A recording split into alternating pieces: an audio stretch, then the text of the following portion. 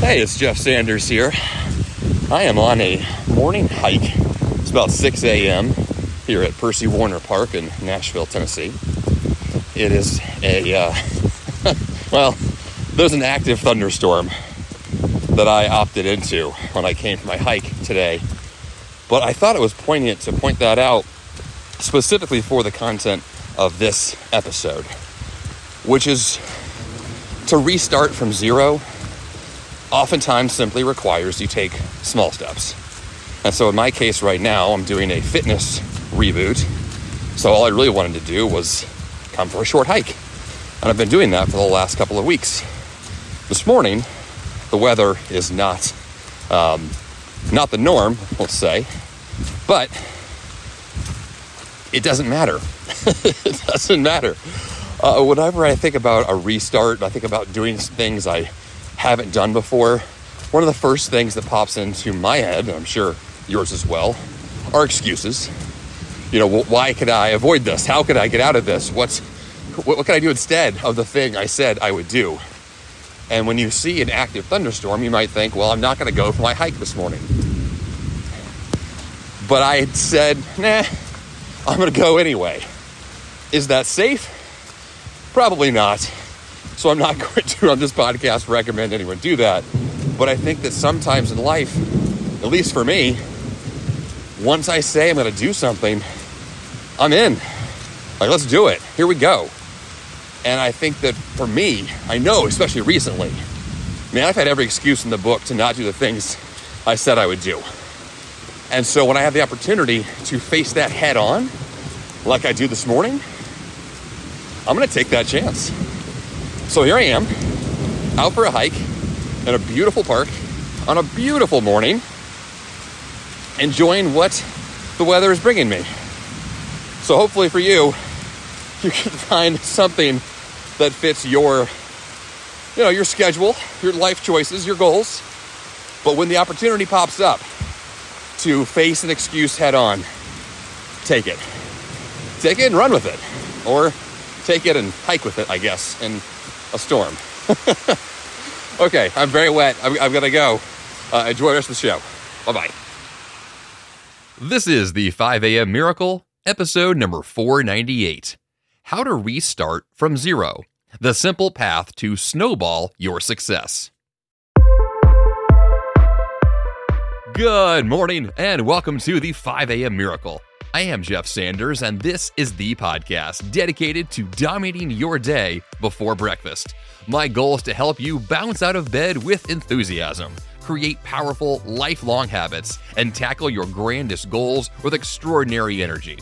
In the episode this week, I'll break down what it means to start over again and again and again, why starting over is so refreshing and necessary at times and how to use the snowball metaphor to catapult your success from nothing into something remarkable and sustainable for years to come. Let's get to it.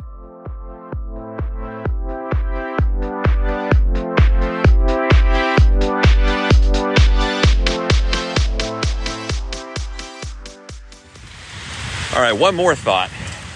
So I'm out here in this pretty epic storm. It's pouring down rain. I'm soaked head to toe right now.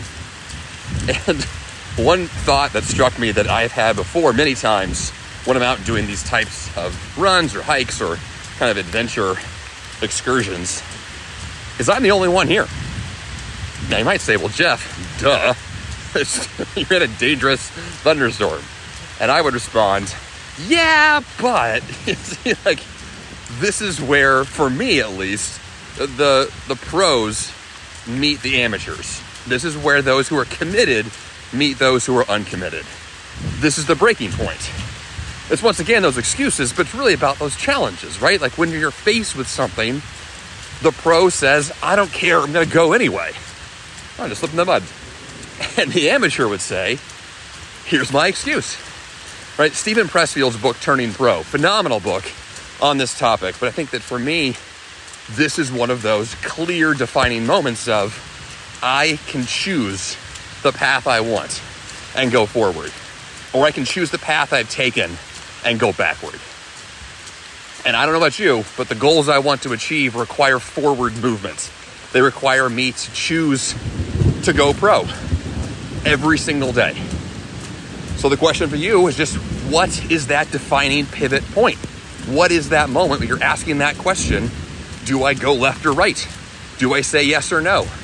Am I in on the morning excursion in the storm or am I not? Once again, please don't be dangerous and stupid with thunderstorms. don't risk your life for your goals and that intensity. But I think this really speaks volumes. Think about that. Good. I can't tell you how many times I have restarted my own exercise routines. A hundred times? A thousand times?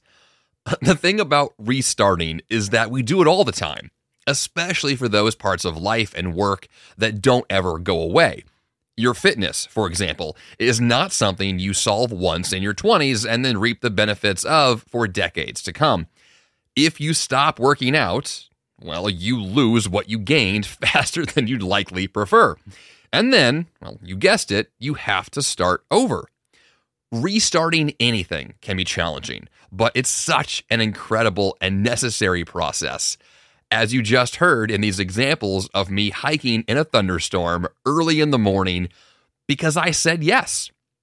I said yes to a restart. My fitness needed to begin again and again and again and again over the course of many years. But specifically in this season, I committed to a very simple daily habit of waking up early and going for a hike in the woods. And it just so happened that the other morning, well, it was raining and it was thundering and it was lightning and it was intense. And of course, like I just mentioned, all these excuses were there to not go. But I said, no, no, no, I'm going to go anyway because I am restarting something that I want to continue. I am beginning again on something that I don't want to lose the progress of because I yet again found a reason not to do it. So, the episode this week, yes, it's about restarting. It's about a new beginning, a refreshing new opportunity to dig into something you've done before, and now you have the chance to dig in and do it better. But I think it's also about this perspective that we take into how we choose to do something. We'll get to the specifics here in a minute, but there is a lot to say about what it means to start over, especially if you've been through those points in your life where you've been knocked down quite a few times. Uh, do you even have the energy to get back up? Is it even worth trying again? We're going to touch on those things also.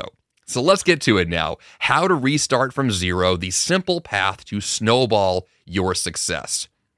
Let's begin by talking about what it actually means to start over again and again and again. Uh, common examples like the ones I just mentioned here would be a, a fitness routine. It's probably the most common things we restart.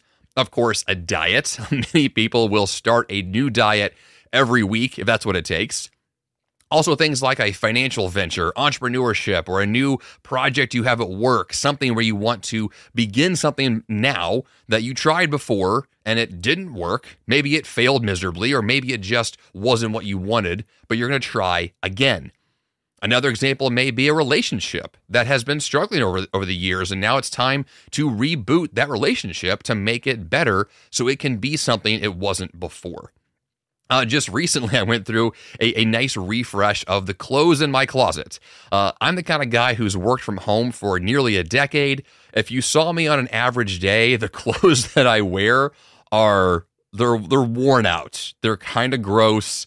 Uh, I don't see people all that often, so my reason for buying new clothes was just uh, I didn't really care.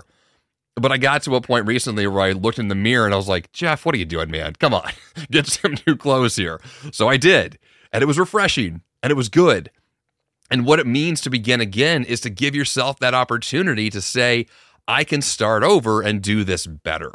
And so the, the simple example there of clothes was a very obvious one because it's so visual. You can see what you did. You can I'm today I'm wearing a brand new shirt that I bought last week and it feels good. I look in the mirror at myself and I'm like, okay, this is a new Jeff Sanders. This is a new beginning. This is something as small as it is. It's, it's a coat of paint on, on the room you've lived in for years. The fresh coat of paint makes a difference. We are visual creatures. Starting over with something new, really does have this emotional impact. You know, starting over also means being willing to face your realities now. One thing about this fitness routine I just restarted yet again was this uh, realization yet again that I am not where I want to be in that area of my life. So, in terms of fitness, I mean, yes, I've gone through many seasons uh, of trying a lot of different things in terms of being in better shape. Uh, but one thing that always strikes me is reality. Reality has a way of really smacking you in the face and saying, hey, you think you're here, but you're not. You think you're better than you are, but really you're back here at the starting line. And if you want to make actual tangible progress, not lying to yourself progress, not fake progress, but actual progress, you have to start in reality where you actually are. And obviously one of the best examples of that would be to to not hide yourself from the truth, which could mean looking at yourself in the mirror in a very literal physical way, not just metaphorically, literally look at yourself in the mirror. Do you need new clothes? Do you need to work out? Do you need to take care of yourself better? These are the, are the thoughts that I've had recently, and this like self care concept kicked in in a big way, where I realized that my focus, my finances, my schedule, my energy, well, they were all going towards other projects. But one thing that I had basically ignored was myself, my physical body. And so for me, starting over means facing the reality, looking at myself naked in the mirror, both literal and metaphorical. Being naked in this sense means looking at reality.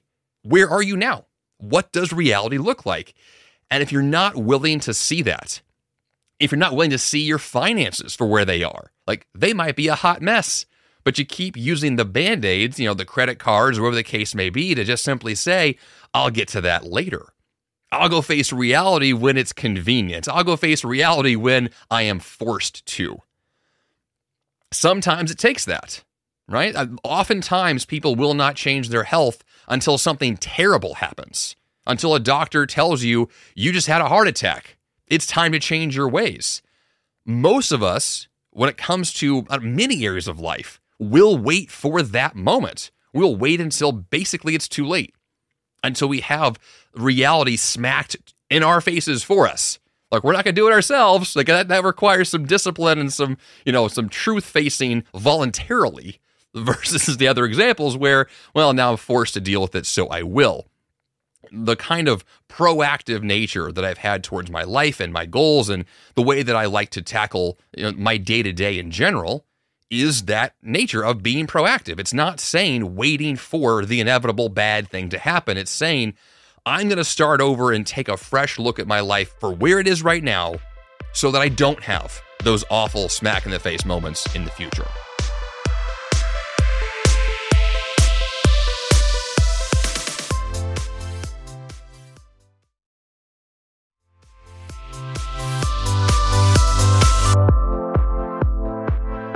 You know, starting over can also mean, in that sense of facing reality, uh, having those hard conversations, whether it's with yourself or with someone else or both. It's another way for you to kind of get that stuff out there. Let me use an example here of, of talking to myself. Uh, just this morning before this recording, uh, I could tell that I had some things on my mind that were bothering me, some problems that had been kind of brewing in the background and I was being I was frustrated, right? I felt the, the the tension that was going on in my own head of my my calendar being not in sync and these scheduling conflicts and these goals I was trying to get done, but never felt like I had the time to really address these things. So I canceled my plans for a few hours and I revamped my calendar. I gave myself the opportunity to look over in a fresh new way what would it look like if my calendar was more ideal? What would it look like if these problems had space to be addressed in a real, tangible way in my life? And I just wrote it all down. Oh, the thing that actually struck me the most was how much of a GTD concept I used, I integrated this morning. So, David Allen's Getting Things Done methodology, or GTD, uh, one of the key concepts he talks about is getting your thoughts out of your head and onto paper. When I interviewed David Allen years ago, one of the things that he talked about that I have never forgotten is this idea that if something's bothering you, if there is something mulling in the back of your mind and you just can't seem to to settle on a solution getting that thought out of your head and onto paper is a phenomenal first step. But for me what was really uh, enlightening this morning was the fact that if i keep thinking about something it means i haven't thought it through fully yet uh, David Allen has said many times that when we have that thought in the back of our mind, when we're constantly thinking about something, it's because we haven't thought it through fully yet. But once you do, once you get those thoughts out of your head, you write it down, you make a plan, you put it on the calendar, you take the actions that take those the idea from your head to something tangible outside of your brain, well, all of a sudden, you're not carrying that burden anymore. You're not carrying the weight or the stress of that recurring thought, that annoyance, that frustration. It's just not there anymore. It's somewhere else and can be dealt with in a much more tangible way. And that's refreshing. That, in many ways, is a chance to start over on something, to address it in a way that's so direct and so practical and so productive that then all of a sudden you have control. And really, this is what the whole thing is about. Restarting is saying, I'm going to re begin this new area of my life because I want to regain control over this area. I want to have a plan. I want to have action steps, a schedule, a budget. I want time, energy, money, focus, all of my resources to pour into this new area or an old area that's new again is going to restart with a plan that fits my season of life for where I am now and where I'm going next because these things change over time. Starting over now on something means something very different than it did 10 years ago or what it will mean 10 years from now. There's a lot to be said about a fresh start that's a needed and necessary process. That's why we have seasons of the year in many ways, or how we've evolved to, I guess, really adapt to the fact that, you know, the earth has seasons. One thing that I love about Nashville, Tennessee, where I live, is that we get real four seasons of the year. Like the temperature, the weather, it changes. And with every new season is a chance to re begin with something new and fresh and to lean into those seasons and say, this is a new chance to do something different because the world around me has physically changed. And it feels good. I love a fresh start. I love to begin with something new. And when you have the chance to intentionally and proactively tackle these things, you have the opportunity to regain that control, regain that fresh new perspective, and then do things better. Oftentimes, starting over means letting go of old things in the for the opportunity to free up space for the new things.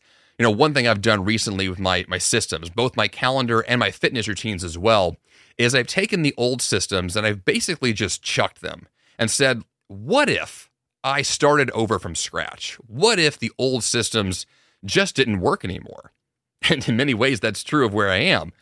Well, then I'm forced to readdress it from scratch and ask the question right here and now what matters most? Right here and now, what is the most pressing, most pivotal thing that I could do? What is the number one thing that matters most now? Not what I said mattered most six months ago, but what actually is important today one thing I know about my life is that it is constantly in flux. I mean, change is just the name of the game for me. So any plan that I make will change, guaranteed. There is no maybe it'll change later, it will change. And so, because of that, because my life is in flux, this chance to restart is a constant one. Which, which is both kind of exhausting, but also very like opportunistic. It's a chance for me to say, okay, if I get a fresh start at my calendar, a fresh start with my finances, a fresh start with my health, I can choose something smarter and better now.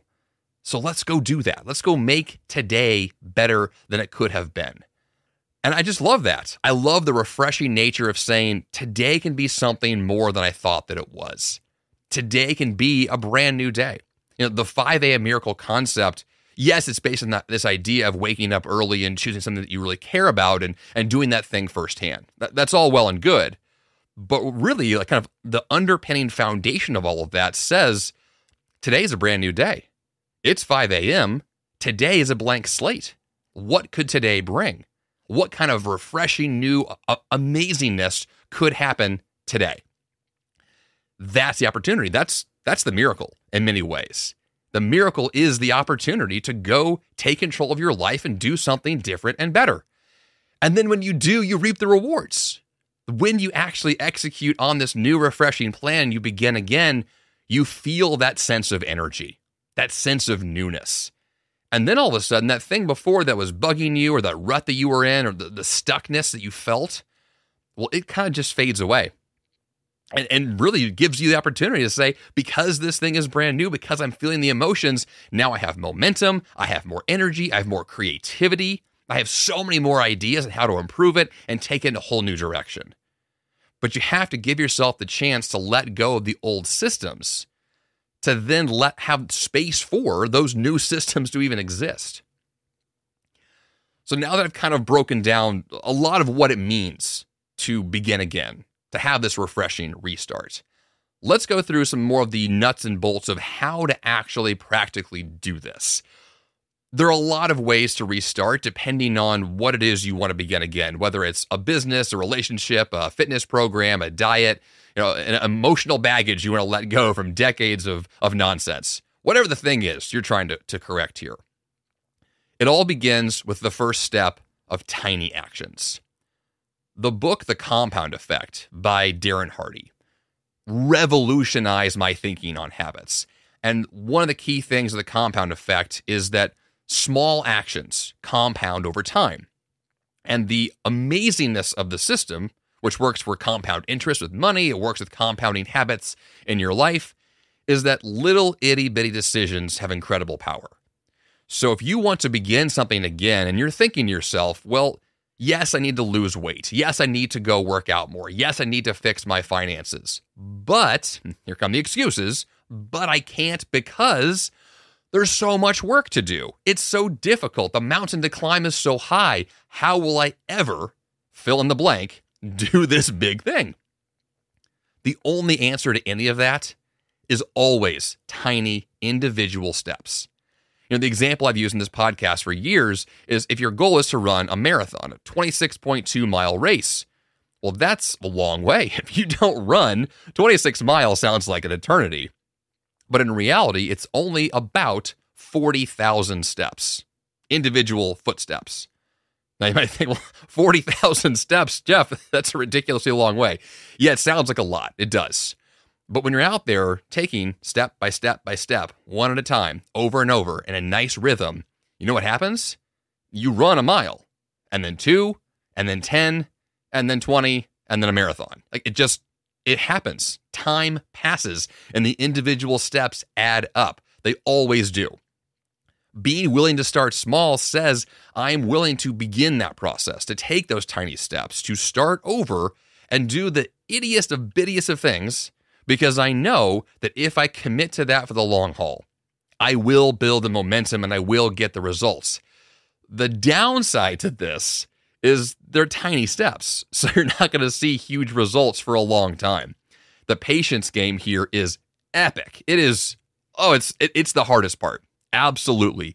Restarting for me has two major problems. The first is the patience game we all can acknowledge.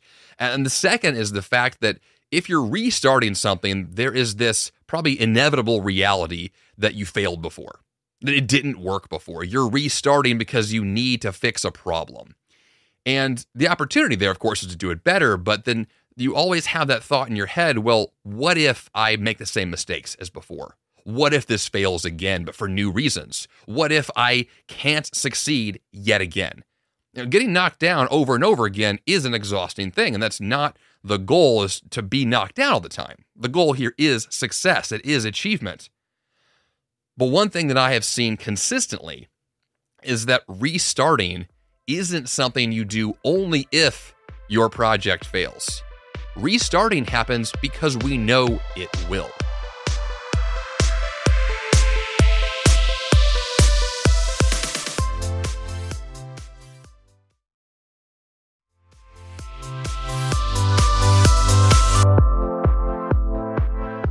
This is a tough concept for me to wrap my brain around, but it's something that I have recently kind of let settle a little more, which is that restarting is a guaranteed activity.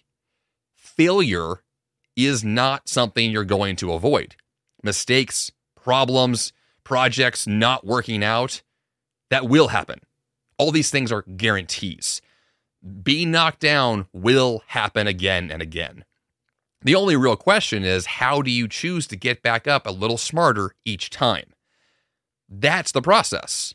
The process is solving the problems along the way to get better and better. So eventually you do get the goal you want in most cases, but the path you took to get there will never look like the path you imagined in the beginning. Being knocked down is part of the journey. Like experiencing those problems and solving them is part of the process. It's not smooth sailing with doors wide open and everything works out beautifully. That's very rare, especially for big, ambitious goals. Like the bigger the goal, the more complicated it is, the more problems you experience, the more likely you're going to have to be knocked down, get back up, solve the problem.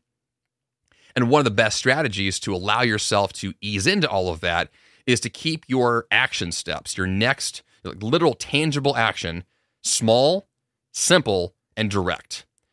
The more you're able to do that, the more control you have over that individual step, which then feeds into that momentum, the emotional uh, joy that you feel from doing good work. And then if you do get knocked back down, or when when you do, well, you take the next small step to get back up and begin again. And that's all this is. Just the recurring process of, oop, that didn't work. Here we go. Oh, that didn't work also. Okay, here we go. It, doesn't sound ideal if you're thinking about, well, life is just a series of successes and resume builders. No, that's not how it is. We are restarting again because we need to. So, the compound effect is another way of saying this snowball to success concept. So, uh, I labeled episode this week. This is a, a really a simple path to using this snowball uh, concept. And the snowball concept, of course, builds on these tiny actions. The snowball itself will grow over time, become a much larger, uh, huge snowball with big, massive uh, amazingness attached to it, only because the individual small things began on day one. And so, if you're going to leverage the snowball effect, leverage the compound effect, you're going to commit to a lifestyle of making those small choices and seeing those things compound over time. And then when things happen, you're going to be a lot less deterred by them because you've built up this momentum, built up these success systems, made smarter choices. You will experience fewer problems in that sense if you have more of that success. Then, of course, what I tend to do is I opt into more problems. I voluntarily opt into solving more things because the challenge is the goal. The obstacle is the way, if you want to use uh, the language from that amazing book. Uh, the author's name is escaping me. I'll get it. The uh, Dan, no, Ryan Holiday. There it is. Okay. Ryan Holiday's book, The Obstacle is the Way. Phenomenal book, also, which really speaks to all of this. That the obstacle, in, in the sense that Ryan Holiday talks about it, is the point. The mountain to climb is the journey. We're not trying to avoid the hard work. We're not trying to lean into comfort. We're not trying to find a lifestyle where problems don't exist. We are opting into problems on purpose. We're opting into solving them because that's what this is. That's a big shift if you've not been there before. If you think of life as, oh, a problem is a negative thing, you turn that on its head and say, no, the problem is the chance to do something better, to solve something, to move forward. The problem allows better things to exist at all. If we then leverage that into Steven Pressfield's book, Turning Pro, which I mentioned earlier uh, in the recording, turning pro is this idea of the mentality shift that you take from the amateur to the professional. Uh, I have an old episode of the podcast where I talk about this topic, and it's one that has stuck with me for many years. I read his book, I think, originally more than 10 years ago, and I've never forgotten the concepts because they apply to life all the time. And one thing that pros do is they acknowledge that life is filled with obstacles, and those obstacles are all opportunities to go do amazing things. And so if you want to start over and do it more effectively, do it better, make smarter choices, you do so with the mindset of a professional who is seeking out chances to make the world a better place, looking for opportunities to improve things. And you improve things by finding problems and solving them on purpose, proactively, looking for them, not just waiting until you get smacked in the face with the bad report from the doctor, as the example before. We're not waiting for the problem, we are seeking it out on purpose. And that's what leads to ultimately the best successes and for me, the most fulfillment. And the marathon's a great example of this. If someone forces you to run a marathon, well, that's just torture, right? That's awful. But if you voluntarily opt into a marathon, you train for it, you look you look forward to it, you put it on the calendar. I have an ultra marathon on my calendar for this calendar year. I'm probably not going to be in the best shape for it, but I am opting into that level of intensity. So it's fun. It's great. It's an awesome problem to solve. And I get the ripple effect of all the benefits that will happen in my life because I am choosing that challenge.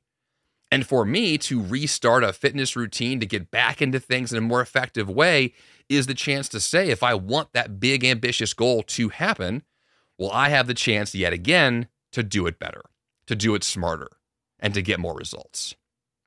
It's a phenomenal thing. The final concept here that I want to dig into is one that I, I've discussed before in this podcast in a lot of detail, but one that definitely speaks to, to the restart procrastination, let's say, which is fear. Fear is a real thing that stops us from restarting at all. Fear is a thing that says, I'm not going to look in the mirror at myself naked. Fear is a thing that says, I'm going to avoid the hard work on purpose because I am scared of putting myself out there. I'm scared of what it's going to feel like to expose reality. I'm scared of what it's going to take to have to acknowledge the fact that I've been making mistakes and screwing stuff up and I can't move forward because I just want to hide under the covers.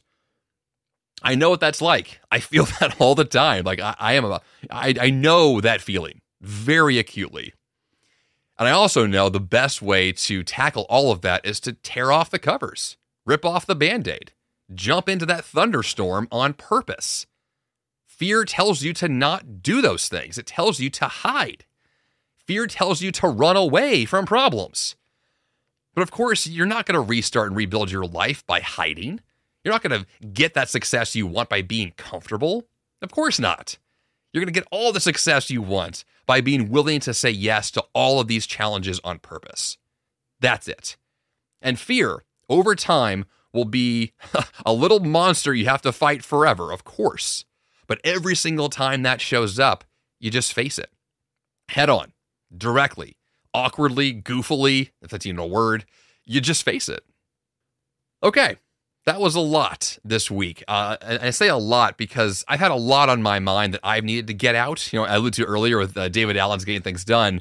Uh, one uh, thing that I tend to feel quite a bit, especially in those seasons when I know a, a new restart is coming, is that my mind feels full and I need to just purge, get stuff out, you know, go for a long walk, get some good rest, clear my head, write things down, journal, because that process will help clear out the cobwebs, the mental cobwebs, the emotional cobwebs to then clarify what the next actions will be, what the next season will be about, and how to restart more effectively. So if you've been in a season where you felt stuck, or you felt that that kind of the mental cobwebs have been there for too long, or you had problems you have been avoiding for far too long, this is a chance right here now, this week, to acknowledge those, to write them down, to get them out of your head onto paper, and define your next restart.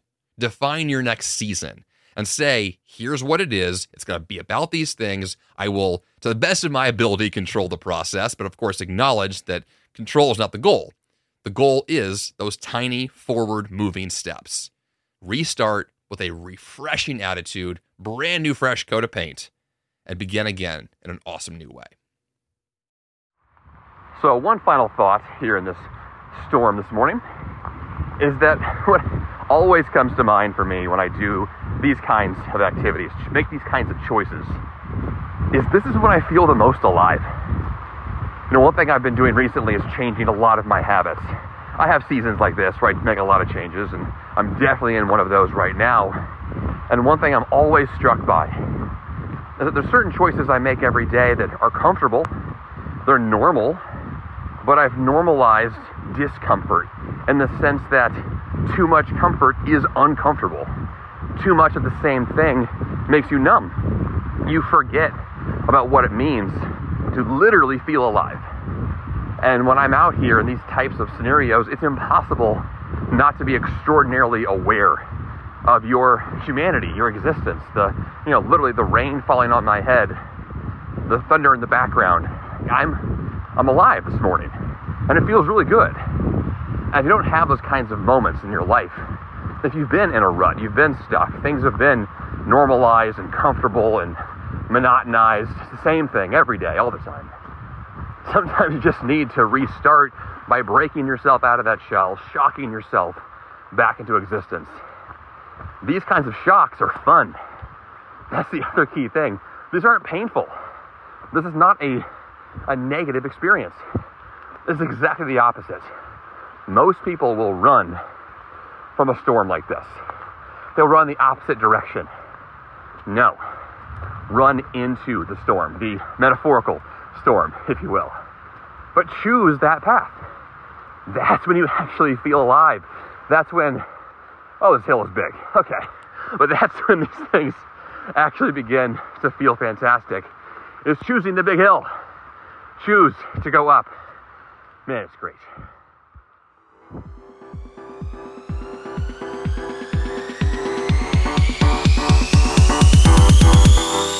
And for the action step this week, clear the deck and start from scratch. You know, sometimes the best plan is starting over from zero. Oftentimes, the only way to make any real forward progress is to first go backwards. Restarting is rejuvenating and filled with possibility, and it doesn't have to be hard, it just has to happen. Take the first step and start right where you are jeffsanders.com slash 498 is the place to go for the episode notes. And of course, subscribe to or follow this podcast at Apple Podcasts, Spotify, or any podcasting app you're using right now. And that's all I've got for you here on the 5 a.m. Miracle Podcast this week. Until next time, you have the power to change your life. And the fun begins bright and early.